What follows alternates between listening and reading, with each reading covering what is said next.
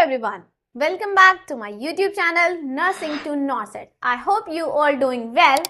और आप सबकी preparation for AIIMS B S C nursing entrance exam 2024 अच्छे से चल रही होगी और आज लेके आई हूँ मैं आप सभी के लिए on your request 90 days plan for AIIMS B S C nursing entrance exam तो जैसा कि हम सभी को पता है, जो हमारा एग्ज़ाम है, वो होने वाला है एट्थ जून को वो बच्चे जिन्हें अभी तक ये आइडिया नहीं था कि 8 जून को आपका एग्ज़ाम होने वाला है तो एम्स ने अपनी जो डेट है, जो अपना कैलेंडर है, उसमें स्पेसिफाई कर रखा है कि एम्स बीएससी नर्सिंग का जो एग्ज़ाम है, वो है आपका 8 जून को। ठीक है? तो 8 जून का मतलब है, आज की डेट से अगर तुम काउंट करो तो आपके पास है 90 days to crack your AIIMS entrance exam. अब मैंने क्या किया है 90 डेज़ में आपके कैटेगरी को दो पार्ट्स में डिवाइड किया है।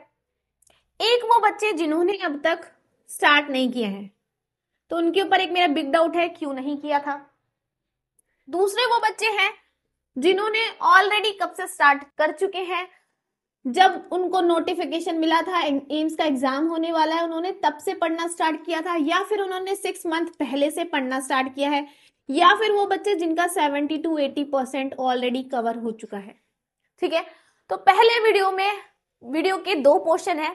फ़र्स्ट पार्ट में will discuss about this group of students जिनकी प्रिपरेशन ऑन गोइंग है, जिनके पास अब 90 डेज़ का टाइम बचा है, और वो जानना चाहते हैं कि उन्हें इस 90 डेज़ के अंदर क्या क्या चीज़ें करनी है, जिससे ये जो आपका एंट्रेंस एग्ज़ाम होने वाला है, इसके अंदर जो सिलेक्शन है, वो आपका 100 परसेंट श्योर हो जाए। ठीक है?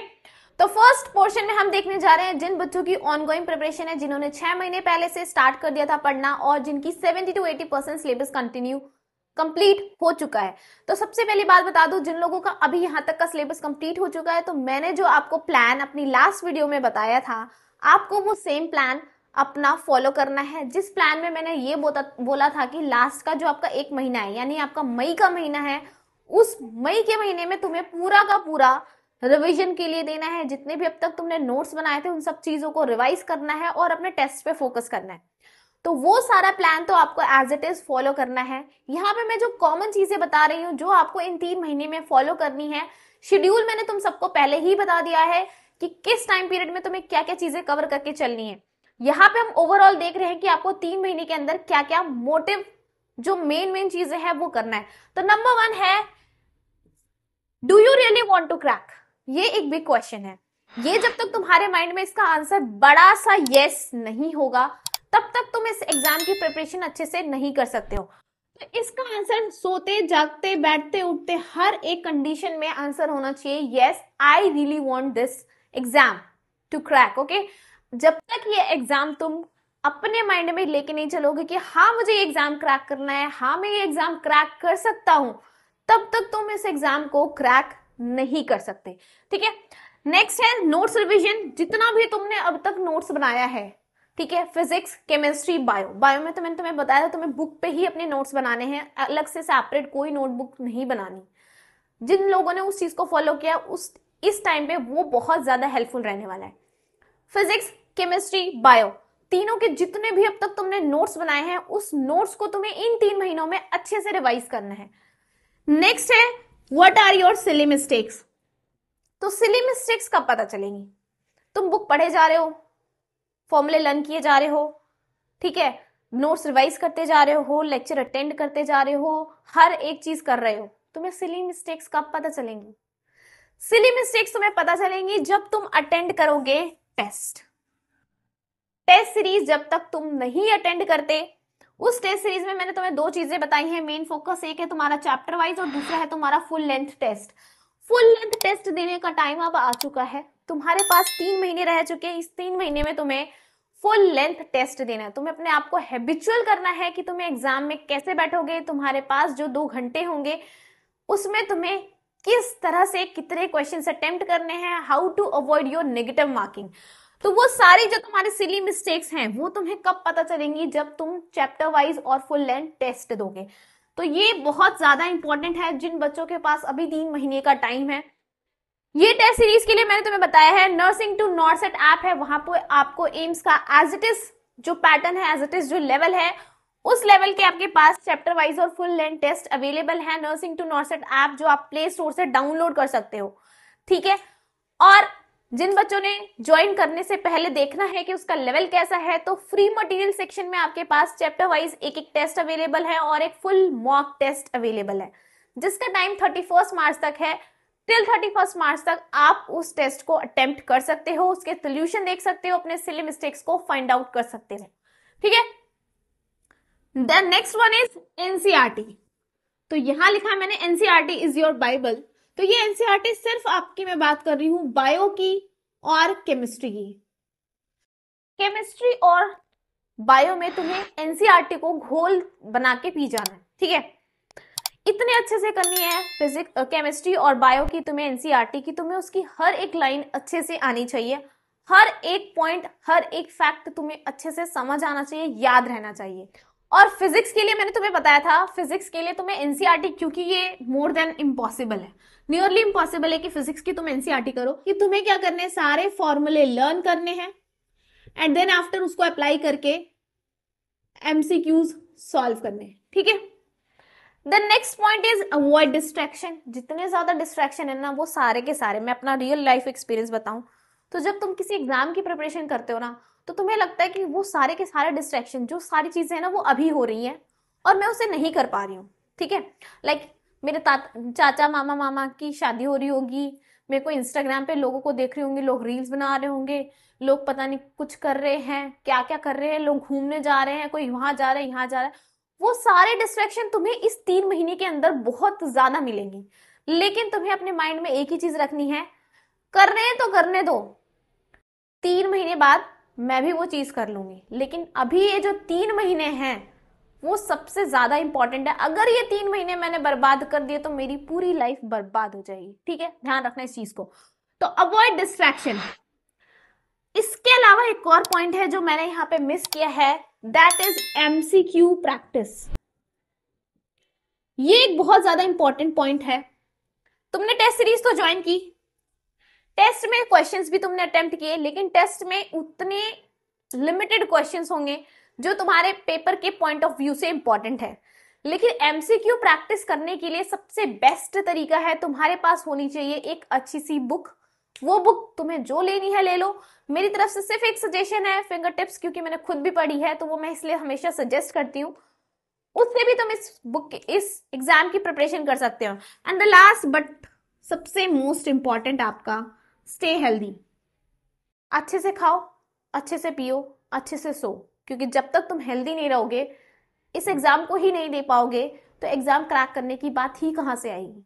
तो सबसे ज़्यादा इंपॉर्टेंट है, पढ़ो, अच्छे से पढ़ो, पूरी मन लगा के पढ़ो, सारे टाइम पढ़ो। लेकिन पढ़ने के साथ साथ तुम्हारी हेल्थ भी बहुत ज़्यादा स्ट्रांग रहनी चाहिए।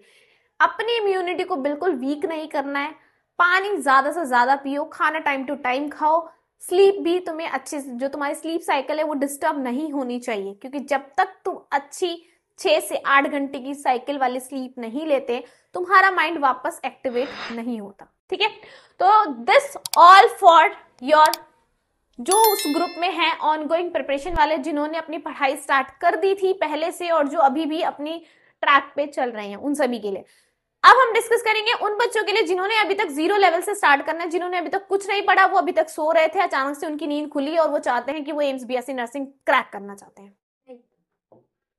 ओके okay, तो हमारा सेकंड पार्ट है उन बच्चों के लिए जिन्होंने अब तक बिल्कुल भी स्टार्ट नहीं किया है या फिर वो ज़ीरो लेवल पे हैं। तो सबसे पहली बात मैं बिल्कुल जेन्युइन बता दूँ तुम्हारे अभी से स्टार्ट करने का मतलब है ज़ीरो नंबर से स्टार्ट करने का मतलब है तुमने आज से पहले कुछ भी पढ़ाई नहीं की है। जो भी तुमने अपने इलेवन ट्वेल्थ के लेवल तक जो भी थोड़ा बहुत पढ़ा था एग्ज़ाम बोर्ड एग्ज़ाम को पास करने के लिए, सिर्फ़ तुम्हारे पास उतनी ही नॉलेज है। उन बच्चों को इन तीन महीने में अगर वो क्रैक करना चाहते हैं तो सबसे पहली बात दिमाग में ये घुसा लो कि this is do or die करो या मरो वाली बात है। या तो तुम अपनी पूरी जान लगा के अच्छे से मेहनत कर लो और इस एग्ज़ाम को क्रैक कर लो, या फिर टाइम सारा वेस्ट करके सिर्फ़ अपने माइंड में सोचो कि मुझे एग्ज़ाम क्रैक करना है और बस घर बैठे रहो अगले साल के लिए, ठीक है? तो this this is up to you कि तुम्हें अच्छे से मेहनत करके अपनी जी जान लगा के इस एग्ज़ाम के लिए पढ़ना है या फिर आराम से रील्स स्क्रॉल करनी है, घर बैठ के और अगले साल की प्रिपरेशन करनी है। ठीक है? तो नंबर वन बात करते हैं, जो बच्चे ज़ीरो लेवल पे हैं या फिर जिन्होंने अभी तक स्टार्ट नहीं किया है, तुम्हें अपने टाइम शेड्यूल को डिवाइड करना है।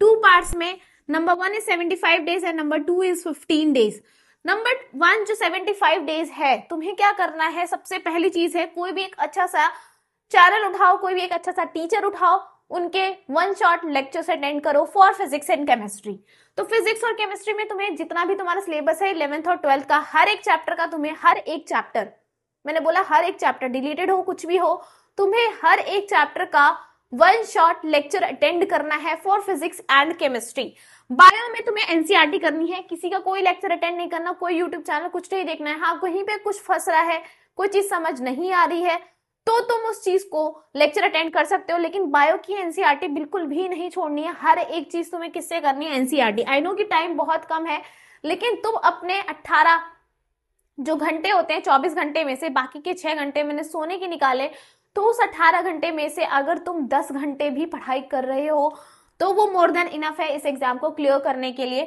तो तुम्हें बायो की एनसीआरटी पढ़नी है। थर्ड वन क्या है? एवरी फिफ्थ डे तुम्हें देना है टेस्ट ये बहुत ज़्यादा इंपॉर्टेंट है। टेस्ट मतलब चैप्टर वाइज टेस्ट जितने चैप्टर पढ़ते जा रहे हो लाइक like तुमने आज से स्टार्ट किया, आज से लेके चार दिन तक तुमने जितने भी चैप्टर्स कंप्लीट किए हैं फिजिक्स केमिस्ट्री बायो में, पाँचवें दिन तुम्हें क्या करना है? उन सारे चैप्टर्स के टेस्ट देने हैं। और टेस्ट के लिए मैंने तुम्हें बताया nursing to NORCET app download करो, वहाँ पे तुम्हें सारे चैप्टर वाइज टेस्ट मिल जाएँगे for AIIMS BSc nursing entrance exam बिल्कुल सेम लेवल के। एक और चीज़ है don't compare yourself with others अपने आप को ना कभी भी किसी से कंपेयर नहीं करना चाहिए।